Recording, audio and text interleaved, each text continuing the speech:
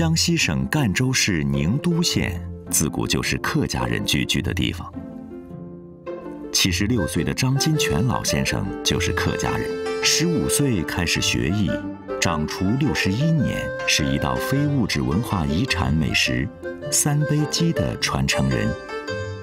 今天一大早，张老先生就出门了，他要前往县城二十公里外的石上镇，参加一次重要的聚会。正月十五，为了庆祝镇上的男丁出生。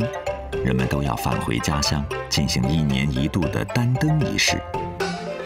添一丁，点一担灯，把亲朋好友送来的爆竹用竹竿串好，放到各房祠堂的门前。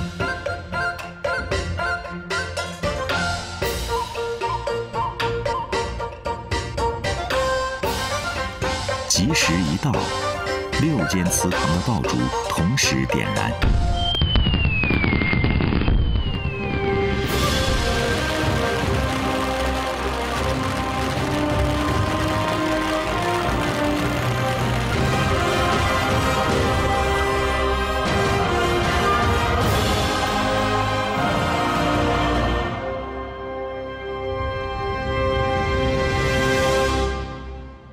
尘埃落定，人们返回自家的院子，等待接下来的大快朵颐。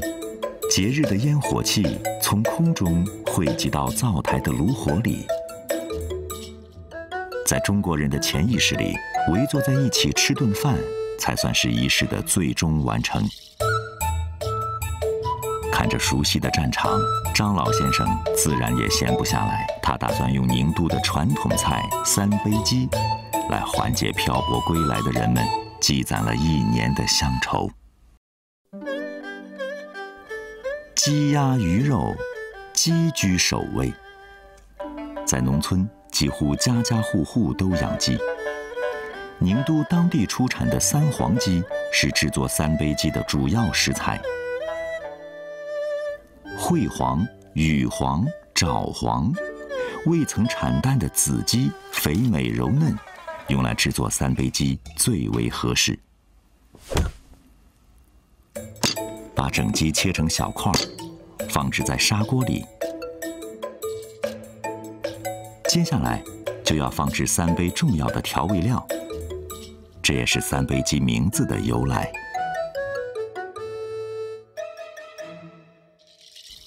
最早人们制作三杯鸡时是用植物油。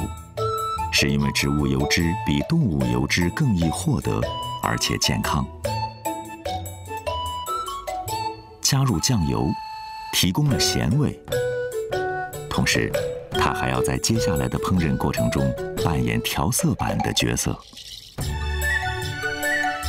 最后加入的是一杯米酒，酒应该是人们利用微生物的最早的案例了。蒸熟的糯米拌上酒曲，三十六个小时后，和一千多年前一样，香甜的米酒总是如约而至。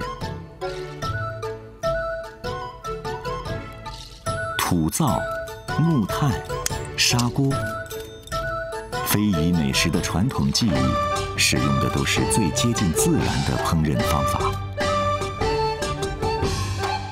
接下来。决定命运的是中国烹饪中最近乎玄学的部分——火候。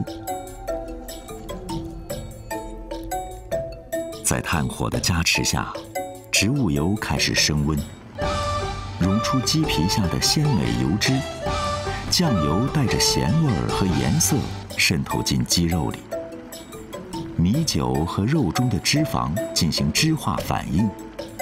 渐渐生出独特的芳香，食物让人们的情感得以释放，心理诉求得以满足。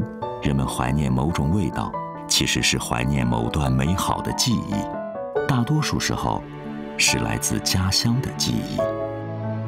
并不繁琐的烹饪技法，让客家人能够带着三杯鸡的味道向南方迁徙。